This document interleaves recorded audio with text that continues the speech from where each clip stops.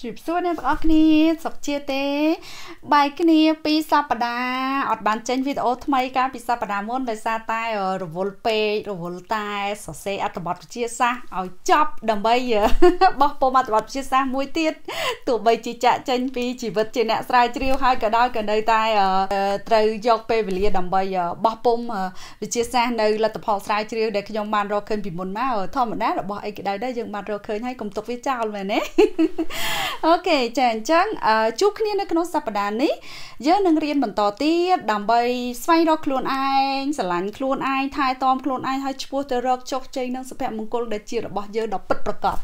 ចាអញ្ចឹងថ្ងៃនេះដើម្បីឲ្យចេះស្រឡាញ់ខ្លួនឯង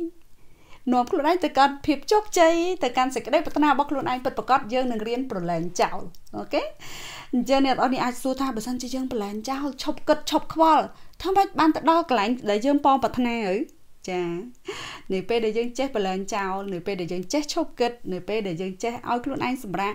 យើងនឹងកាន់តែទៅដល់ភាពជោគជ័យទៅដល់គោលដៅរបស់យើងឆាប់រហ័សហើយនឹងងាយស្រួលទៀតផងចាអញ្ចឹងអឺសួរថាបើសិនជាវាល្អម្លឹងម្លឹង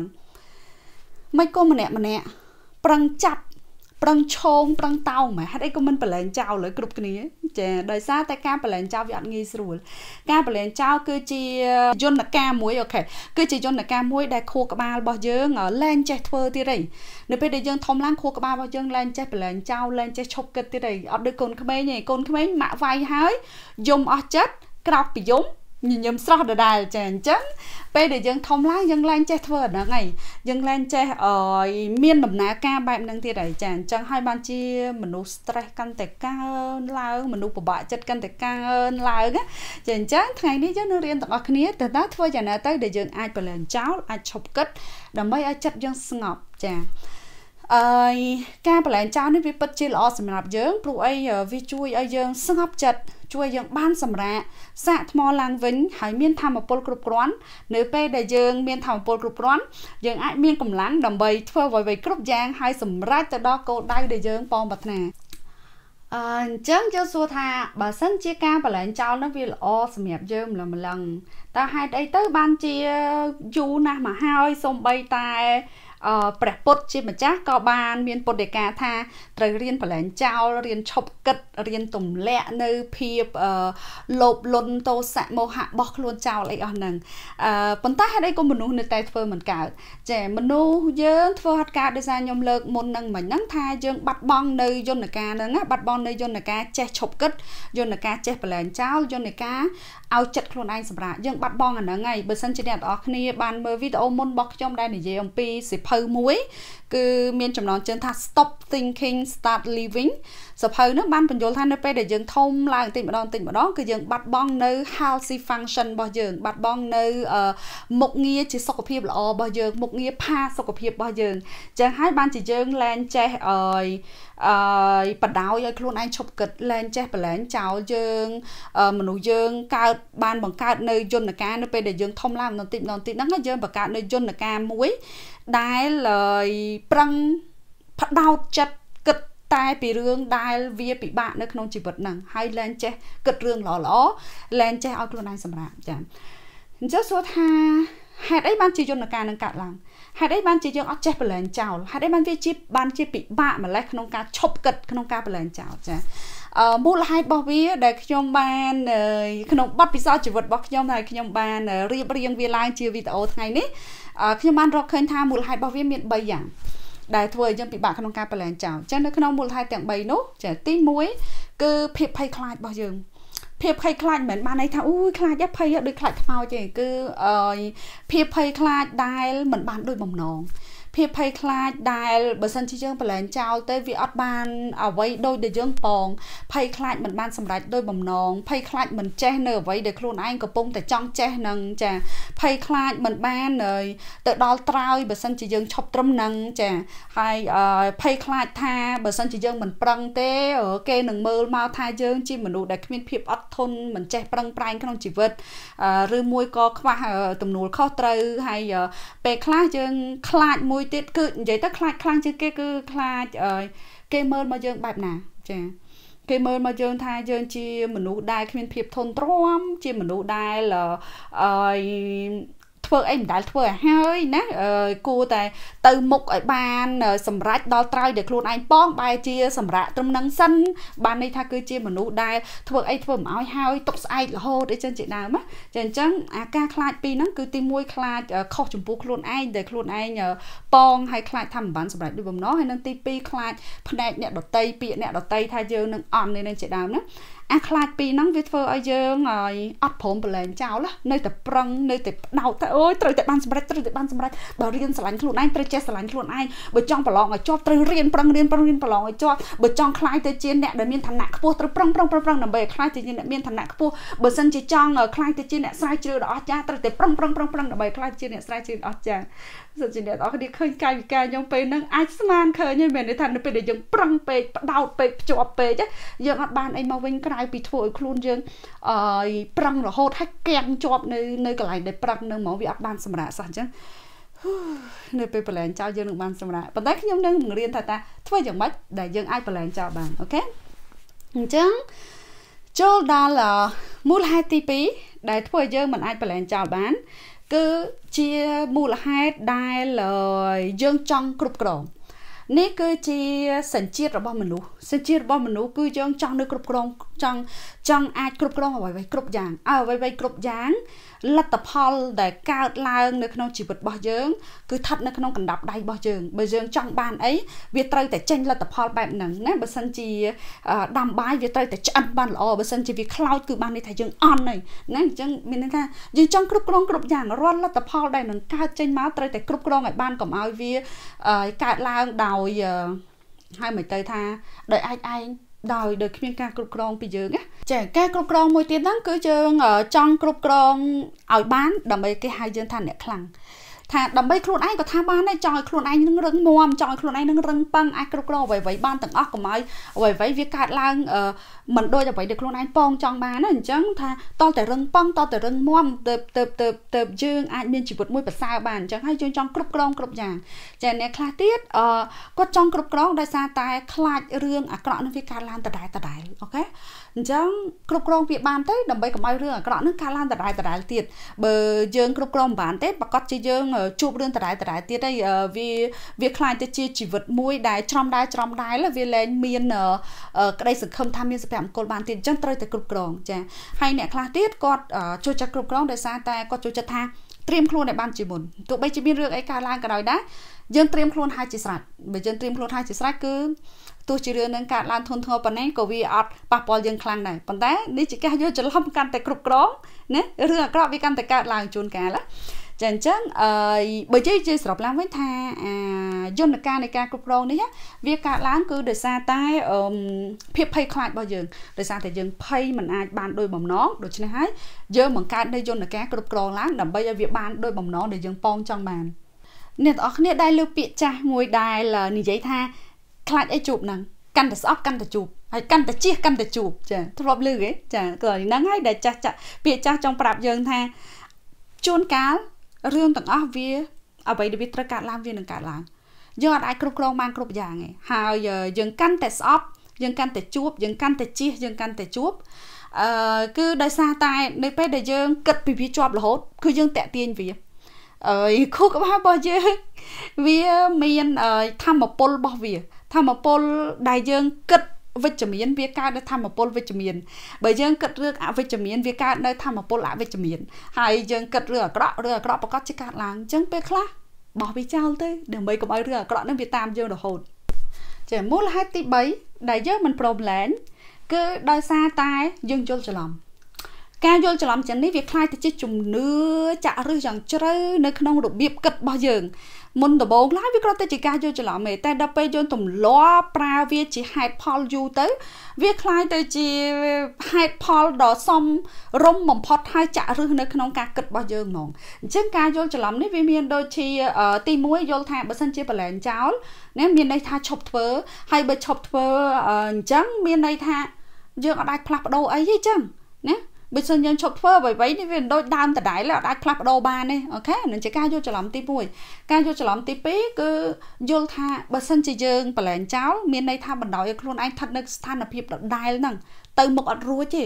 ណាអត់មានអីប្រសើរឡើងអត់មានអីដែលអាចធ្វើឲ្យខ្លួនឯងប្រសើរជាងហ្នឹងទេព្រោះសូម្បីតែខ្លួនឯងក៏ប្រឡែងចោលសូម្បីតែខ្លួនឯងក៏ឈប់គិតដែរហ្នឹងអញ្ចឹងមានតែ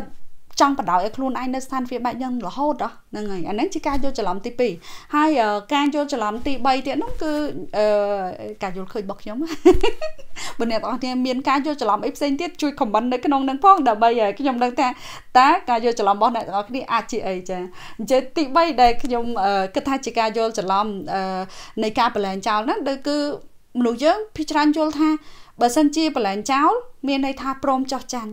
ព្រមចោះចាញ់ព្រមលិខិតព្រមចោះចាញ់វាសនាហើយទទួលយកអ្វីដែលយើងត្រូវជួបនឹងបន្តទៀតទៅហ៎ចាអញ្ចឹងហ្នឹងក៏ជាការយល់ច្រឡំមួយធំដែរចាអញ្ចឹង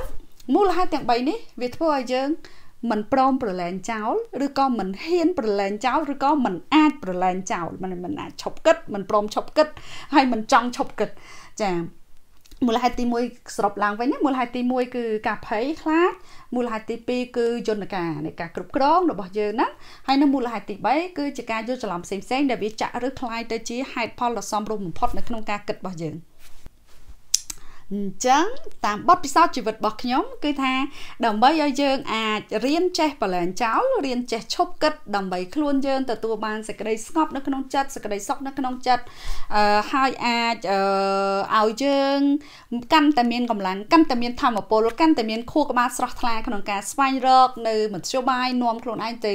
កាន់ខ្លួនឯងនាំខ្លួនឯងទៅកាន់ភាពជោគជ័យនាំខ្លួនឯងទៅកាន់សុភមង្គលពិតប្រាកដទាំងអស់ហ្នឹងអឺគឺត្រូវតែដោះស្រាយជាមួយនឹងហេតុរបស់វាទាំង3ហ្នឹងឬគល់របស់វាទាំង3ហ្នឹងដោះស្រាយជាមួយការភ័យខ្លាចដោះស្រាយជាមួយការគ្រប់គ្រងហើយនឹងដោះស្រាយជាមួយការយល់ច្រឡំតែយើងដោះស្រាយជាមួយវាយ៉ាងមិនខ្លាចអញ្ចឹងយើងចាប់ផ្ដើមទី1យើងដោះស្រាយជាមួយភាពភ័យខ្លាចចាយើងដោះស្រាយជាមួយភាពភ័យខ្លាចបាន ទី1គឺ រកវាឲ្យឃើញថាយើងខ្លាចអីគេចាអ្នកខ្លះខ្លាចថាបើសិនជាឈប់ទៅយើងមិនបានជោគជ័យអ្នកខ្លះខ្លាចថាខ្លាចថាមិនបានដោយបំណងអ្នកខ្លះខ្លាចថាទុកខ្លួនឯងនៅស្ថានភាពដដែលអស់ហ្នឹងចាអូខេអញ្ចឹងយើងកំណត់ភាពភ័យខ្លាចនឹងឲ្យឃើញហើយរកនិយាយចំទៅយើងដូចជាការដំណើរនៃការស្វែងរកខ្លួនឯងចឹងតែស្វែងរកខ្លួនឯងមួយដែលជាខ្លួនឯងខ្លាចចាអឺបើសិនយើងនិយាយទៅតែយើងត្រូវស្វែងរកខ្លួនឯងមួយណាដែលខ្លាចហ្នឹងហើយកំពុងតែខ្លាចអីគេ បើហើយយើងរកឃើញពេលដែលយើងរកឃើញគឺទទួលយកខ្លួនឯងទទួលយកខ្លួនឯងថាអអូខេខ្ញុំកំពុងតែខ្លាចអាហ្នឹង តាមពិតទៅខ្ញុំចេះតែប្រឹងណាអើយគ្រប់ពេលឧទាហរណ៍ថារៀនស្រឡាញ់ខ្លួនឯងរៀនស្រឡាញ់ខ្លួនឯងវាមិនទាន់ចេះសោះក្នុងការស្រឡាញ់ខ្លួនឯងអញ្ចឹងខ្លាចថាមិនចេះស្រឡាញ់ខ្លួនឯងដល់តែពេលខ្លាចថាមិនចេះស្រឡាញ់ខ្លួនឯងអញ្ចឹងធ្វើឲ្យប្រឹងថាអូយធ្វើមិនចេះស្រឡាញ់ខ្លួនឯងធ្វើមិនចេះស្រឡាញ់ខ្លួនឯងគឺទៅមុខអត់រួចទេអូខេអញ្ចឹងយើងត្រូវរកឲ្យឃើញនៅខ្លួនឯងដែលខ្លាចហ្នឹងរួចហើយយើងទទួលស្គាល់ខ្លួនឯងទទួលស្គាល់ថាអូខេអឺខ្ញុំកំពុងខ្លាច ខ្ញុំកំពុងខ្លាចខ្ញុំកំពុងបារម្ភខ្ញុំកំពុងភ័យអញ្ចឹងអឺខ្ញុំស្ដាប់ឮស្ដាប់ឮថាខ្លួនឯងខ្លាចស្ដាប់ឮថាខ្លួនឯងភ័យទទួលយកថាខ្លួនឯងកំពុងតែភ័យដូចកូនកំប្រុកព្រៃត្រូវទឹកភ្លៀងញាក់ទៅត្រើកអញ្ចឹងបើសិនជាអញ្ចឹងមែននោះត្រូវតែទទួលយកខ្លួនឯងចា ហើយឈប់ប្រឆាំងជាមួយភាពខ្លាចនឹងទៀត អីពេលខ្លះយើងរកឃើញភាពខ្លាចហ្នឹងហើយប៉ុន្តែជេះជាងដែលទទួលយកអកសោបខ្លួនឯងបែរជាយើងប្រឆាំងដាច់ខាត់មិនព្រមទទួលឲ្យខ្លួនឯងខ្លាចទេយល់ថាបើសិនជាខ្លាចបើសិនជាភ័យគឺគ្មានភាពរឹងមាំទេរឹងតែសបកក្រៅខ្លាំងតែសបកក្រៅតែតាមពិតនៅខាងក្នុងញ័រទៅត្រឹក ពេលដែលយើងធ្វើបែបហ្នឹងមានន័យថាយើងប្រឆាំងជាមួយនឹងខ្លួនឯងប្រឆាំងជាមួយនឹងភាពខ្លាចរបស់ខ្លួនឯងយើងត្រូវធ្វើអញ្ចឹងឯងយើងត្រូវអោបកសោភាពខ្លាចរបស់ខ្លួនឯងកុំប្រឆាំងជាមួយនឹងភាពខ្លាចរបស់ខ្លួនឯងព្រោះវាគឺជាផ្នែកមួយរបស់យើង វាគឺជាចំណុចវាគឺជាធាតដែលជាបង្គំនៃខ្លួនយើងដ៏រឹងមាំដ៏ខ្លាំងមហិមាហ្នឹងអ្នកណាក៏មានភាពខ្លាចនៅក្នុងខ្លួនខ្លួនឯងដែរបើមិនយើងប្រឆាំងជាមួយវា គឺមានន័យថាយើងប្រឆាំងជាមួយនឹងខ្លួនឯងហើយយើងអាចរំដោះខ្លួនឯងចេញពីភាពខ្លាចនឹងបានទេអញ្ចឹងយើងត្រូវតែអោបកសោភាពខ្លាចហ្នឹងចាអោបកសោភាពខ្លាចហ្នឹងទទួលយកភាពខ្លាចហ្នឹងស្ដាប់ឮស្ដាប់ខ្លួនឯងឮថាខ្លួនឯងខ្លាចចាទទួលថាខ្លួនឯងខ្លាចចាជំហានទី2ដើម្បីដោះស្រាយនឹងភាពភ័យខ្លាចរបស់ខ្លួនឯងដែរគឺរៀននាំខ្លួនឯងឲ្យស្ថិតនៅក្នុងបច្ចុប្បន្នភាពតាមពិតភាពខ្លាចគឺវាកើតឡើងដោយសារតែយើងឲ្យការគិតរបស់យើងហ្នឹង ភ្ជាប់ទៅនឹងអតីតកាលហើយភ្ជាប់ទៅនឹងអនាគតកាលចេះតែលើកថានេះអតីតកាលធ្លាប់រឿងបែបនេះកើតឡើងណាអញ្ចឹងត្រូវតែត្រៀមខ្លួនបែបណាធ្វើបែបណាកុំឲ្យរឿងហ្នឹងវាកើតឡើង នៅថ្ងៃក្រោយទៀតប៉ុន្តែតាមពិតខ្លួនយើងនៅឡើយនេះនៅនេះសោះណាប៉ុន្តែយើងអត់បាន ភ្ជាប់ជាមួយនឹងខ្លួនយើងនៅក្នុងពេលបច្ចុប្បន្នរបស់ខ្លួនឯងហ្នឹងឯងចេះតែភ្ជាប់ទៅរកបទពិសោធន៍អាក្រក់នៅក្នុងអតីតកាលហើយធ្វើម៉េចកុំឲ្យវាកើតទៀតនៅអនាគតកាលអញ្ចឹងមានន័យថាយើងភ្លេចបច្ចុប្បន្នកាលរបស់យើង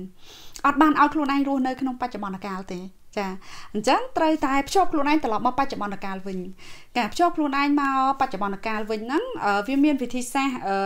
ដោយការរៀនដកដង្ហើមឬក៏រៀនធ្វើសមាធិដូចជាបើការដែលខ្ញុំចេញវីដេអូមុនមុនរួចហើយ គឺជួយច្រើនក្នុងការធ្វើឲ្យយើងអាចរស់នៅជាមួយខ្លួនឯងបានអាចស្ថិតនៅក្នុងនាំខ្លួនឯងឲ្យស្ថិតនៅក្នុងបច្ចុប្បន្នភាពរបស់ខ្លួនឯងបានអញ្ចឹងបើសិនជាអ្នកខ្លះអឺគាត់និយាយថាអឺពេលគាត់ធ្វើសមាធិគឺច្បុកច្បល់ពេលដែលគាត់ធ្វើសមាធិគឺអូយមានតែរឿងអាក្រក់កើតឡើងរហូត ចឹងអញ្ចឹងយើងកុំប្រឆាំងជាមួយនឹងខួរក្បាលរបស់ខ្លួនឯងវាចង់ប្រាប់យើងថារាល់ថ្ងៃនោះវាពិបាកខ្លាំងណាស់វាកំពុងតែគិតរឿងច្បុកច្បល់អស់ហ្នឹងកុំប្រឆាំងជាមួយវាយើងទទួលស្គាល់ទទួលស្គាល់ថាអូខេខួរក្បាលរបស់ខ្ញុំកំពុងតែច្បុកច្បល់ណាស់គិតដល់រឿងមិនចេះចប់ប៉ុន្តែអ្វីដែលយើងអាចធ្វើបាននៅក្នុងសមាធិនៅក្នុងពេលដកដង្ហើមរបស់យើងគឺផ្ដោតមករាងកាយរបស់យើងខ្យល់ដង្ហើមចូលតាមច្រមុះរបស់យើងខ្យល់ដង្ហើមចេញទៅវិញតាមច្រមុះរបស់យើងរាងកាយរបស់យើងអង្គុយនៅកន្លែងណាអង្គុយប៉ែនផ្នែនឬក៏អង្គុយយ៉ាងម៉េចហើយវាចុករយកន្លែងណាវាក្តៅកន្លែងណាវាត្រជាក់កន្លែងណាវាសពុនកន្លែងណាវាស្រួលកន្លែងណាជាដើមចាកន្លែងហ្នឹងហើយដែលយើងភ្ជាប់រាងកាយរបស់ខ្លួនឯងជាមួយនឹងបច្ចុប្បន្នភាពរបស់ខ្លួនឯងណាអញ្ចឹងនេះគឺជាអឺអឺ ចំណុចមួយដែលយើងអាចធ្វើបានក្នុងការភ្ជាប់ជាមួយនឹងបច្ចុប្បន្នភាពរបស់ខ្លួនឯងមានមួយទៀតដែលយើងអាចធ្វើបានដែរសម្រាប់អ្នកដែលមិនសូវចេះអង្គុយចុះនៅឲ្យស្ងៀមពួកកូនស្វាអញ្ចឹងអ្នកដែលមិនចេះនៅស្ងៀមពិបាកក្នុងការបដោតអារម្មណ៍ខ្លួនឯងនៅជាមួយខ្លួនឯងតាមរយៈការដកដង្ហើមឬសមាធិយើងអាចប្រើវិធីសាស្ត្រកូនស្វាគឺថាធ្វើអីដែលយើងចូលចិត្តក្នុងពេលបច្ចុប្បន្ន ណាអឺយើងធ្វើអីដែលយើងចូលចិត្តក្នុងពេលបច្ចុប្បន្នបើសិនជាយើងចូលចិត្តច្រៀងយើងច្រៀងចូលចិត្តចិត្តរាំយើងរាំបើសិនជាយើងចូលចិត្តជួបជុំមិត្តភ័ក្តិយើងទៅជួបមិត្តភ័ក្តិហើយកុំទៅជួបមិត្តភ័ក្តិហើយខួរក្បាលហ្នឹងនៅតែគិតតែអារឿងអពមង្គលអារឿងវិលវល់នឹងត្រូវបង្រៀនវាថាឥឡូវនេះ ខ្ញុំមកជួបមិត្តភ័ក្តិរបស់ខ្ញុំណាហើយមិត្តភ័ក្តិរបស់ខ្ញុំហ្នឹងមុខអញ្ចឹងមុខវាអញ្ចឹងណាវាចូលចិត្តនិយាយអញ្ចឹងវាចូលចិត្តញ៉ាំអាហ្នឹងវាចូលចិត្តទៅអញ្ចឹងអូខេសង្កេតមិត្តភ័ក្តិរបស់យើងអញ្ចឹងទៅហើយដើម្បីដើម្បីធ្វើម៉េចទាញខួរក្បាលរបស់យើងណាឲ្យវាគិតនៅអ្វីដែលយើងកំពុងធ្វើនៅក្នុងបច្ចុប្បន្នភាពហ្នឹងហើយបើសិនជាអ្នកខ្លះគាត់នឹកគ្រួសារចង់ជួបជុំគ្រួសារអូខេទៅជួបជុំគ្រួសារវាក៏ជាវិធីសាស្ត្រមួយដែលនាំយើងឲ្យមកនៅក្នុងបច្ចុប្បន្នភាពដែរហើយបើដូចខ្ញុំចឹងខ្ញុំចូលចិត្តគូគំនូអញ្ចឹងទាញជក់ទាញថ្នាំមកផាត់យកគូយកអញ្ចឹងទៅវាទាញឲ្យខ្ញុំចូលមកក្នុងបច្ចុប្បន្នភាពរបស់ខ្ញុំដែរអូខេអញ្ចឹងវាជួយឲ្យខួរក្បាលរបស់យើងបានសម្រាប់ឈប់គិតពីរឿងអពមង្គលឈប់គិតឈប់ខ្វល់ពីរឿងដែលនាំឲ្យយើងខ្វល់ហើយបដោតមកអ្វីដែលយើងកំពុងធ្វើក្នុងបច្ចុប្បន្នភាពវិញអញ្ចឹងអ្នកនរគ្នាត្រូវរក ដោយខ្លួនឯងនេះជាយោបល់របស់ខ្ញុំប៉ុន្តែអ្នកនរគ្នាអាចរកដោយខ្លួនឯងថាធ្វើម៉េចទៅដើម្បីភ្ជាប់ខ្លួនឯងមកបច្ចុប្បន្នភាពអូនៅឃើញមួយទៀតខ្ញុំកាលពីមុនក៏ខ្ញុំចូលចិត្តកាត់សក់ណាខ្ញុំចូលចិត្តកាត់សក់អឺជិននៅពេលដែលខ្ញុំទៅកាត់សក់គឺខ្ញុំសប្បាយចិត្តមែនតើជាងកាត់ជាងកាត់សក់របស់ខ្ញុំនឹងគាត់ចូលចិត្តទៅចែកលេងជាមួយខ្ញុំចូលចិត្តអឺ អឺអឺសួរយោបល់ពីខ្ញុំហើយគាត់កាត់ស្អាតខ្ញុំស្អាតជាពិសេសអញ្ចឹងក៏ធ្វើឲ្យខ្ញុំអាចភ្ជាប់មកបច្ចុប្បន្នកាលរបស់ខ្ញុំបានដែរតែខ្ញុំកំពុងនៅកន្លែងណាកំពុងធ្វើអីជាដើមណាអញ្ចឹងសម្រាប់លោកអ្នកទាំងអស់គ្នាថាតើធ្វើយ៉ាងម៉េចអាចរកវិធីសាស្ត្រក្នុងការភ្ជាប់ខ្លួនយើងឲ្យមកនៅក្នុងបច្ចុប្បន្នកាលរបស់ខ្លួនឯងបាន អូខេអញ្ចឹងយើងចូលទៅដោះស្រាយជាមួយនឹងមូលហេតុទី2ដែលយើងបណ្ដាច់បលែចោលបានគឺមូលហេតុនៃយន្តការគ្រប់គ្រងដែលមនុស្សយើងនឹងចង់តែគ្រប់គ្រងគ្រប់យ៉ាងអញ្ចឹងយើងត្រូវដោះវាដែរតែតាធ្វើម៉េចដោះខ្លួនឯងឲ្យឈប់ ចង់គ្រប់គ្រងតទៅទៀតថាឈប់គ្រប់គ្រងតទៅទៀតដើម្បីបលែចោលអូខេมันងាយស្រួលទេនេះខ្ញុំយល់ថាបើបើខ្ញុំបើជាបទពិសោធន៍របស់ខ្ញុំណាគឺជាចំណុចដែលពិបាកជាងគេ គឺជារឿងដែលពិបាកដោះស្រាយជាងគេព្រោះអីយន្តការគ្រប់គ្រងហ្នឹងគឺជាយន្តការមួយដែលដែលធ្វើឲ្យយើងមានអារម្មណ៍ថាខ្លួនឯងបានដាក់ខ្លួនឯងចូលទៅក្នុងតំបន់សុវត្ថិភាពដាក់ខ្លួនឯងឲ្យមានសុវត្ថិភាព អញ្ចឹងហើយនៅពេលដែលយើងចង់ប្រឈប់វាអត់ងាយស្រួលទេព្រោះធ្វើឲ្យយើងមានអារម្មណ៍ថាឈប់ឲ្យខ្លួនឯងមានសុវត្ថិភាពបែរជាដាក់ឲ្យខ្លួនឯងប្រឈមនឹងគ្រោះគ្រប់យ៉ាង ប្រឈមនឹងភាពមហន្តរាយណាអញ្ចឹងគឺសម្រាប់បទពិសោធន៍របស់ខ្ញុំគឺពិបាកជាងគេក្នុងការដោះស្រាយជាមួយនឹងការគ្រប់គ្រងប៉ុន្តែខ្ញុំនឹងចែករំលែកជាមួយអ្នកនរគ្នាថាតើខ្ញុំធ្វើយ៉ាងម៉េចកើតចឹងទី1 ដើម្បីដោះស្រាយជាមួយនឹងការគ្រប់គ្រងគឺរកឲ្យឃើញថាអ្វីទៅដែលអាស្រ័យមកលើអាស្រ័យទៅនឹងអំណាចធម្មពលរបស់យើង ហើយអ្វីដែលមិនអាស្រ័យនឹងអំណាចធម្មពលរបស់យើង មានន័យថារកអ្វីដែលយើងអាចធ្វើបាន និងអ្វីដែលយើងមិនអាចធ្វើបាន រួចហើយយើងផ្ដោតអារម្មណ៍របស់យើងទៅលើតែអ្វីដែលយើងអាចធ្វើបានហើយឈប់ខ្វល់នៅអ្វីដែលយើងមិនអាចធ្វើបានទៀតខ្ញុំលើកឧទាហរណ៍កាលពីខ្ញុំធ្លាប់ចេញវីដេអូពីលើកមុនស្ដីអំពីធ្វើជាកញ្ចក់ឆ្លុះខ្លួនឯងខ្ញុំបានលើកអំពីថាយើងមើលថាយើងអាចធ្វើអីបានដើម្បីធ្វើជាកញ្ចក់ឆ្លុះខ្លួនយើងយើងមិនអាចបញ្ឈប់មាត់អ្នកដតីឲ្យឈប់និយាយអាក្រក់ពីយើងបានទេមែនទេប៉ុន្តែតើអ្វីទៅដែលយើងអាចធ្វើបានអ្វីដែលយើងអាចធ្វើបានគឺកុំយកសម្ដីរបស់អ្នកដតីនឹងឲ្យជ្រាបចូលក្នុងខួរក្បាលរបស់យើងណា អញ្ចឹងអឺនេះក៏ជាឧទាហរណ៍មួយដែលខ្ញុំលើកកាលពីលើកមុនរំលឹកអ្នកទាំងអស់គ្នាអញ្ចឹងនៅក្នុងករណីដែលយើងចង់គ្រប់គ្រងគ្រប់យ៉ាងយើងត្រូវរកឲ្យឃើញថាតើអ្វីទៅដែលអាស្រ័យលើយើងអ្វីទៅដែលយើងអាចធ្វើឲ្យវាកើតឡើងនិងអាចធ្វើមិនឲ្យវាកើតឡើងបានចំណែកឯអ្វីដែលយើងមិនអាចមានអត្តពលលើវាបានយើងបោះចោលអូខេយើងបោះចោលបើសិនជាយើងនៅតែចង់គ្រប់គ្រងដោយផ្ដោតដោយចាប់ឲ្យជាប់នៅអ្វីដែលយើងមិនអាចធ្វើបានហ្នឹងណា គឺយើងមានតែបំផ្លាញធម្មពលខ្លួនឯងទេជឿខ្ញុំបោះវាចោលទម្លាក់វាចោលលើហើយត្រឡប់មកមើលអ្វីដែលយើងអាចធ្វើបានវិញខ្ញុំលើកឧទាហរណ៍ងាយងាយមួយថ្ងៃនេះដូចជាថ្ងៃនេះចឹងខ្ញុំត្រូវធ្វើវីដេអូជូនអ្នកទាំងអស់គ្នាប៉ុន្តែនៅខាងក្រៅភ្លៀងណាហើយវាជារឿងដែលគួរឲ្យសោកស្ដាយមែនទែនព្រោះអីខ្ញុំមកដល់តំបន់ស្រុកស្រែទេសភាពស្រស់ស្អាតព្រៃភ្នំនៅខាងក្រៅប៉ុន្តែបែរជាភ្លៀង អញ្ចឹងបើសិនជាខ្ញុំផ្ដោតទៅលើអ្វីដែលខ្ញុំធ្វើអត់បានដែលថាចង់ទៅធ្វើវីដេអូនៅខាងក្រៅជូនអ្នកទាំងអស់គ្នាដើម្បីឲ្យអ្នកទាំងអស់គ្នាបានឃើញទេសភាពស្រស់ស្អាតហើយខ្ញុំខ្លួនឯងហ្នឹងក៏បានអង្គុយនៅក្នុងទេសភាពស្រស់ស្អាតក៏វាសប្បាយចិត្តជាងធ្វើនៅក្នុងផ្ទះដែរបើសិនខ្ញុំផ្ដោតទៅលើអាហ្នឹងខ្ញុំប្រកាសជា stack ហើយប្រកាសជាអត់អាចធ្វើវីដេអូបានទៀតអូខេប៉ុន្តែខ្ញុំអត់ផ្ដោតលើអាហ្នឹងខ្ញុំសួរខ្លួនឯងវិញថាអ្វីទៅដែលខ្ញុំអាចធ្វើបានអូខេអញ្ចឹងខ្ញុំត្រូវរកទីតាំងណាមួយនៅក្នុងផ្ទះនេះ ដែលមានកន្លែងដែលមានផាសុខភាព ហើយក៏ផ្ដល់នូវភាពអឺស្រស់ស្អាតម្យ៉ាងសម្រាប់ធ្វើវីដេអូនេះដែរឧទាហរណ៍ខ្ញុំម្ដងណានៅសាឡុងហ្នឹងមានខ្នើយប៉ាក់ដ៏ស្រស់ស្អាតអូខេអញ្ចឹងនេះគឺជាការរកនៅអ្វីដែលវាអាស្រ័យលើខ្ញុំអ្វីដែលខ្ញុំអាចធ្វើបាន ដើម្បីធ្វើជាវីដេអូជូនអ្នកទាំងអស់គ្នាមើលចាអញ្ចឹងអឺវាធ្វើឲ្យខ្ញុំអាច ពន្លត់ពន្លត់អាយន្តការនៃការគ្រប់គ្រងហ្នឹងបានតាមរយៈការកំអោយវាគ្រប់គ្រងរឿងដែលវាធ្វើអត់បានប៉ុន្តែនាំវាមកឲ្យគ្រប់គ្រងរឿងដែលវាធ្វើបានវិញឧទាហរណ៍ដូចគ្នាខ្ញុំចង់ពាក់អាវដែលពណ៌ស្អាតដែលអឺវាលឃ្លីដែលអីចឹងដើម្បីធ្វើវីដេអូព្រោះខ្ញុំចូលចិត្តកៅអៅគ្រប់ពណ៌ហើយមិនសូវចូលចិត្តអាវធំកលីងកលុងនៅលើខ្លួនទេប៉ុន្តែ វារងាវារងានៅទីនេះរងា10អឺ10អង្សាសេណា10អង្សាសេឥឡូវហ្នឹងអញ្ចឹងបើសិនជាលេងចង់ពាក់អាវ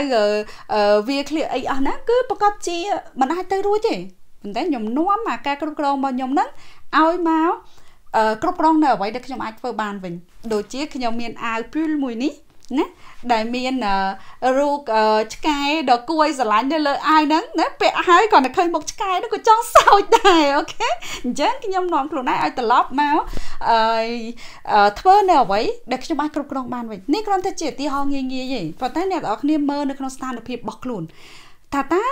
ក្នុងស្ថានភាពរបស់យើងអ្វីទៅយើងធ្វើបានអ្វីដែលយើងធ្វើមិនបានហើយជឿខ្ញុំអ្វីដែលធ្វើមិនបានកុំខ្វល់ពីវាបោះវាចោលមិនមែនបានន័យថាយើងអសមត្ថភាពទេ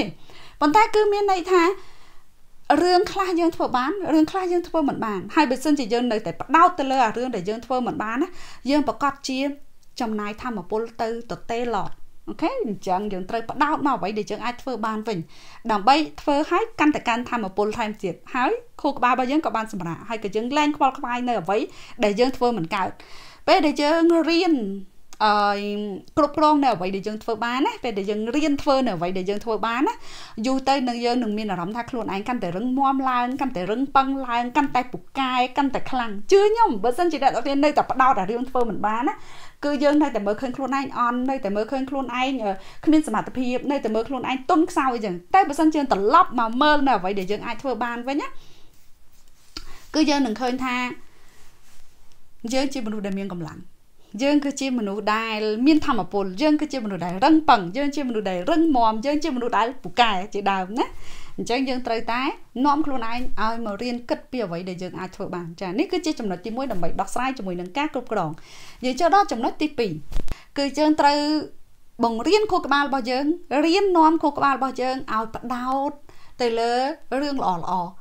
នាំចិត្តរបស់យើងនាំបេះដូងរបស់យើងឲ្យចេះគិតរឿងល្អៗដែលកើតឡើងនៅក្នុងជីវិតរបស់យើង ធម្មតាយើងធ្លាប់ឮចម្រៀងចម្រៀងមួយបទអូខ្ញុំភ្លេចទេចម្រៀងណាព្រោះហ្នឹងណាអឺអឺអ្វីអ្វីវាគូនឹងគ្នាវាមានសមានខ្មៅមានល្អមានអាក្រក់មានខ្ពស់មានទាបអស់ទេអញ្ចឹងបើវាមានរឿងអាក្រក់កើតឡើងណាជឿខ្ញុំវាក៏ដឹកខាតមានរឿងល្អកើតឡើងដែរប៉ុន្តែគ្រាន់ថាខួរក្បាលយើងហ្នឹងវាពូកែណាក្នុងការគិតរឿងអាក្រក់វាពូកែណាក្នុងការគិតដែលរឿងនាំឲ្យយើងពិបាកចិត្ត ហើយពិបាកណាក្នុងការនាំវាឲ្យមកគិតរឿងល្អវិញគេថាបើថារឿងល្អកើតឡើងរាប់រយរឿងឲ្យតែមានរឿងអាក្រក់តែមួយរឿងណា គឺប្រកាសជាអារឿងល្អហ្នឹងអត់មានន័យនៅក្នុងជីវិតរបស់ខ្លួនឯងទៀតទេអូខេចឹងយើងត្រូវបង្រៀនខ្លួនឯងដើម្បីឲ្យគិតដល់អារឿងល្អមួយរួយរឿងដែលវាកើតឡើងទន្ទឹមនឹងរឿងអាក្រក់មួយរឿងកើតឡើងហ្នឹងណានាំវាមកគិតអារឿងល្អមួយរយរឿងនេះណាខ្ញុំជឿថាក្នុងជីវិតមនុស្សម្នាក់ម្នាក់មិនមែនមានអ្នកណាមានតែរឿងអាក្រក់កើតឡើងនៅក្នុងជីវិតរហូតទេខ្ញុំលើកឧទាហរណ៍រឿងល្អដែលកើតឡើងក្នុងជីវិតរបស់អ្នកគ្នាគឺមានម៉ាលីនមកអង្គុយចែករំលែកបទពិសោធន៍ដល់អ្នកទាំងអស់គ្នានេះជារឿងល្អសម្រាប់អ្នកទាំងអស់គ្នាអត់ មែនឬក៏មិនមែនបើមែនសូមខមមិនមួយមកចាអញ្ចឹងយើងត្រូវរៀនផ្ដោតចិត្តរបស់យើងឲ្យគិតពីរឿងល្អដែលកើតឡើងនៅក្នុងជីវិតរបស់យើងវារឿងអីក៏ដោយដែរនៅក្នុងโลกនេះមិនដែលមានតែរឿងអាក្រក់ទេប៉ុន្តែគ្រាន់ថាចិត្តរបស់យើងខួរក្បាលរបស់យើងបេះដូងរបស់យើងហ្នឹងពេលដែលមានរឿងអាក្រក់កើតឡើងវាត្រូវរឿងអាក្រក់ហ្នឹងធ្វើឲ្យខ្ទេចខ្ទាំហើយនៅពេលដែលវាត្រូវរឿងអាក្រក់ធ្វើឲ្យខ្ទេចខ្ទាំយើងចេះតែបដោតចិត្តគិតថា រឿងអាក្រក់កើតឡើងក្នុងជីវិតរបស់យើងហេតុអីក៏អយុត្តិធម៌ម្លេះហេតុអីក៏អ្នកដតីមើលទៅឃើញគេសើចកាកាយហើយយើងនឹងហេតុអីក៏វេទនាជាងគេអញ្ចឹងហេតុអីក៏រឿងអាក្រក់ចេះតែកើតឡើងលើយើងអញ្ចឹងអូខេអញ្ចឹងបើភ្នែកឡើង ហើយសម្លឹងមើលពិភពលោកក្នុងផ្លូវល្អក្នុងផ្លូវវិជ្ជមានគិតនាំខ្លួនឯងរៀនគិតរឿងល្អដែលកើតឡើងនៅក្នុងជីវិតរបស់យើងវាតែតែមានរឿងល្អកើតឡើងនៅក្នុងជីវិតរបស់មនុស្សម្នាក់ម្នាក់ឧទាហរណ៍ថា ជួបមិត្តភ័ក្តិដើរស្រឡាញ់រាប់អានអញ្ចឹងពិតប្រកបណាអឺឧទាហរណ៍ថាដើរដើរទៅស្រាប់តែថ្ងៃបើកឡាសាឡាចេះហើយមានខ្យល់បក់រំភើយតិចណាយើងកន្លែងហ្នឹងគឺជារឿងល្អដែលកើតឡើងនៅក្នុងជីវិតយើងហីអូខេអញ្ចឹងរៀនរៀនរករឿងល្អដាក់ខ្លួនឯងនាំខួរក្បាលរបស់ខ្លួនឯងឲ្យគិតរឿងល្អវាតែងតែមានរឿងល្អនៅក្នុងជីវិតរបស់យើងជឿខ្ញុំជំហានទី3 ដើម្បីដោះស្រាយជាមួយនឹងការគ្រប់គ្រងនេះគឺជាជំហានដែលសំខាន់ហើយសម្រាប់ខ្ញុំគឺជាជំហានដែលខ្ញុំធ្វើបានជោគជ័យជានិច្ចជាមួយនឹងការគ្រប់គ្រងជាមួយនឹងយន្តការនៃការគ្រប់គ្រងរបស់ខ្ញុំគឺរៀនគិតហើយគូគូឲ្យដើរទៀតណាគឺទៅជាមួយគ្នាតាមពិតមនុស្សយើង stress ដោយសារអី stress ដោយសារតែបានតែគិតនៅពេលដែលបានតែគិតហើយអត់គូវាចេញហើយអត់ធ្វើវា គឺយើង stress ហើយ អូខេអញ្ចឹងចំណុចទី3នេះជំហានទី3នេះគឺជាជំហានដែលខ្ញុំដឹងថាវាគឺជាជំហានដែលជោគជ័យពិតប្រាកដហ្មងសម្រាប់ខ្ញុំមិនមែនថាមុននោះអត់ជោគជ័យទេណាវាជោគជ័យដូចគ្នាគ្រាន់តែជំហានទី3នេះគឺជាជំហានដែលសំខាន់ដែលខ្ញុំយល់ថាអឺជា snow តែម្ដងគឺថា ត្រូវរៀនធ្វើអីក៏ដោយដែរពេលដែលយើងគិតរឿងអីមួយគឺយើងគិតហើយយើងគូវាបានន័យថារៀបចំផែនការគូមិនមែនគិតហើយទៅគូមកចេញម៉ាលីនបាត់ចេះគូរូបផងមែនទេចាគឺយើងគិតហើយយើងរៀបចំផែនការហើយយើងដាក់ដំណើរការផែនការនោះណាហើយអង្គុយចាំមើលលទ្ធផលកុំខ្វល់ថាលទ្ធផលនោះចេញមកមិនតែខ្វល់ថាលទ្ធផលនោះចេញមកមិនមានន័យថាយើងឈ្មោះទៅរកយន្តការនៃការគ្រប់គ្រងទៀតហើយ OK អញ្ចឹងយើងគិតហើយយើងរៀបចំផែនការយើងដាក់ដំណើរការផែនការហើយយើងអង្គុយចាំមើលថាតើលទ្ធផលរបស់វានឹងចេញមកបែបណាអ្នកទាំងអស់នេះត្រូវដឹងថាលទ្ធផលទោះបីជាវាល្អឬអាក្រក់វាបរាជ័យឬក៏វាជោគជ័យដោយដែលយើងរងចាំក៏ដោយដែរគឺជាលទ្ធផលល្អ OK បើសិនជាគ្មានលទ្ធផលខុសពីអ្វីដែលយើងរងចាំទេយើងក៏អត់ដឹងថាអ្វីទៅដែលល្អសម្រាប់យើងដែរបើសិនជាយើងចេះបណ្ដោយឲ្យខ្លួនឯងរងចាំលទ្ធផលវាចេញមកបែបណាក៏ដោយគឺយើងរីករាយជាមួយវា យើងនឹងដឹងថាតើយើងត្រូវរៀបចំផែនការសារជាថ្មីយ៉ាងម៉េចទើបបានលទ្ធផលដូចដែលយើងចង់បានអញ្ចឹងចេះជាងដែលប្រឹងអង្គុយគ្រប់គ្រងប្រឹងឈោងប្រឹងតោងប្រឹងធ្ពក់ឲ្យជាប់ក្តាប់ឲ្យជាប់ថាត្រូវតែចេញលទ្ធផលដូចដែលយើងចង់បានយើងត្រូវប្រឡែងវាអញ្ចឹងកុំគិតឲ្យចោលតែគិតឲ្យចោលគឺ stress ហើយ ដើម្បីកុំឲ្យខ្លួនឯង stress ត្រូវគិតឲ្យរៀបចំផែនការរៀបចំផែនការហើយនាំខ្លួនឯងដើរនៅលើផែនការរបស់ខ្លួនឯងហើយអង្គុយចាំលទ្ធផលដល់ញញឹមយល់អស់មិនបាច់អង្គុយចាំក៏ល្អទៀតណាក៏អង្គុយចាំលទ្ធផលទៅធ្វើអីផ្សេងនៅពេលដែលយើងគិតហើយយើងរៀបចំផែនការហើយយើងដើរតាមផែនការនោះហើយកំឡុងពេលដែលលទ្ធផលវាអត់ទាន់ចេញយើងទៅធ្វើអីផ្សេង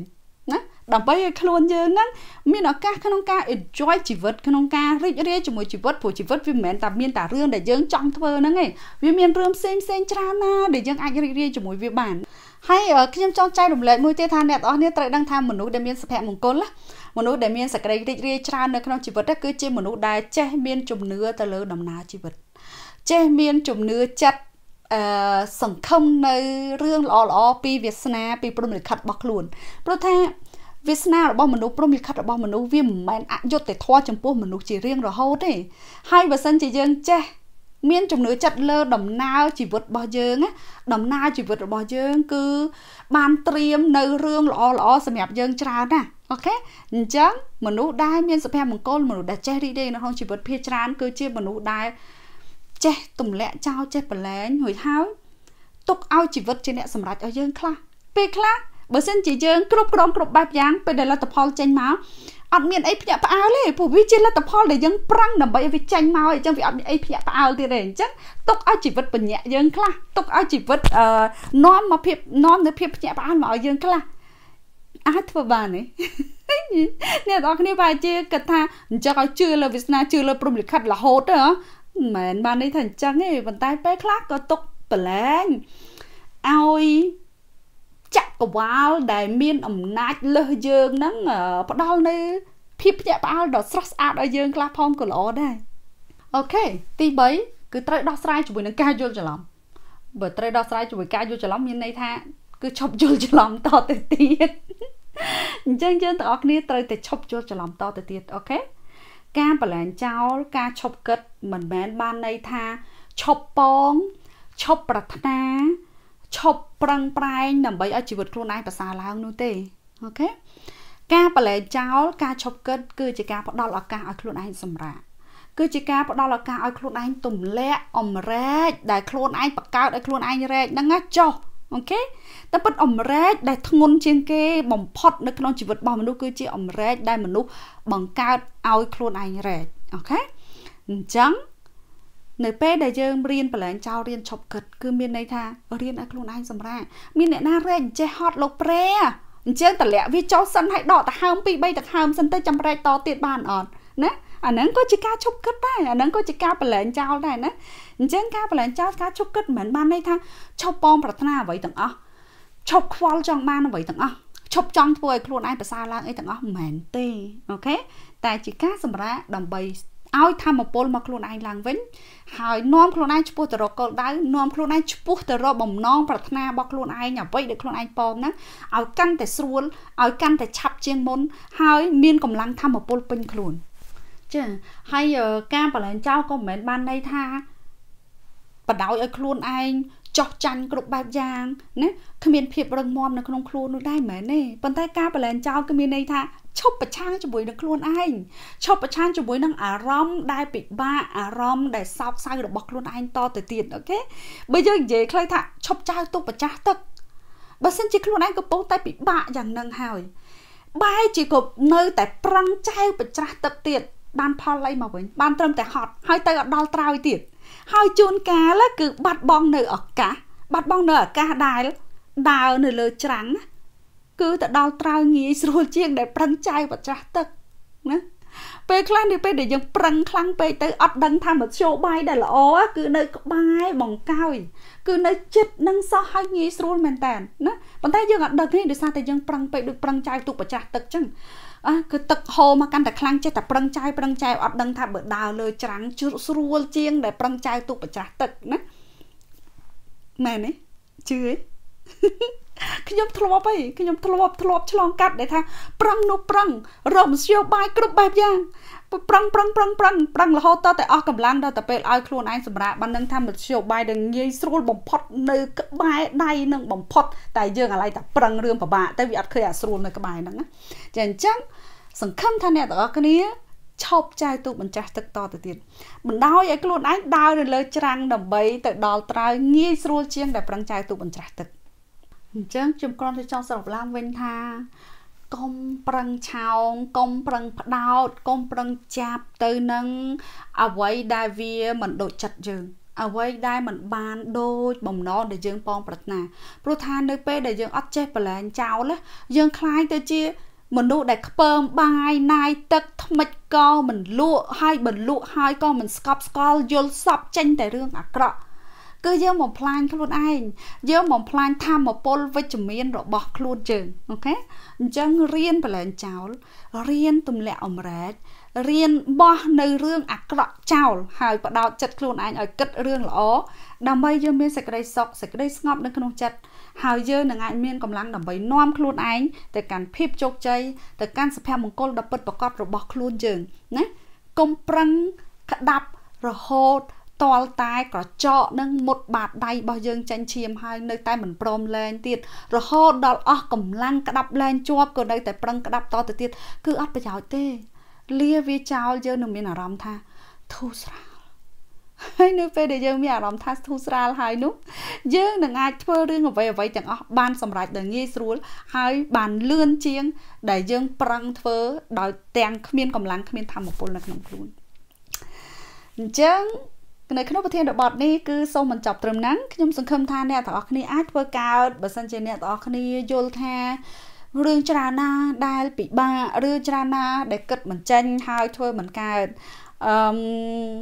កុំខ្លាចចិត្តក្នុងការសរសេរសារមកកាន់ខ្ញុំហើយអឺយើងអាចជួយគ្នាក្នុងការរកដំណោះស្រាយទាំងអស់គ្នាខ្ញុំមិនតាំងខ្លួនជាគ្រូខ្ញុំមិនតាំងខ្លួនជាអ្នកដែលអាចដោះស្រាយវិបត្តិបានទេប៉ុន្តែយើងជួយគ្នាទៅវិញទៅមកចែករំលែកបទពិសោធន៍ជាមួយគ្នាទៅវិញទៅមកហើយតាមរយៈបទពិសោធន៍ដែលខ្ញុំបានចេញផុតពីកំណត់ទុកស្គាល់សុភមង្គលគឺអាចជួយអ្នកទាំងអស់គ្នាឲ្យចេញផុតពី ការលំបាកទាំងឡាយនៅក្នុងជីវិតថៃសម្រាប់នៅគោលដៅដែលអ្នកទាំងអស់គ្នាចង់បាន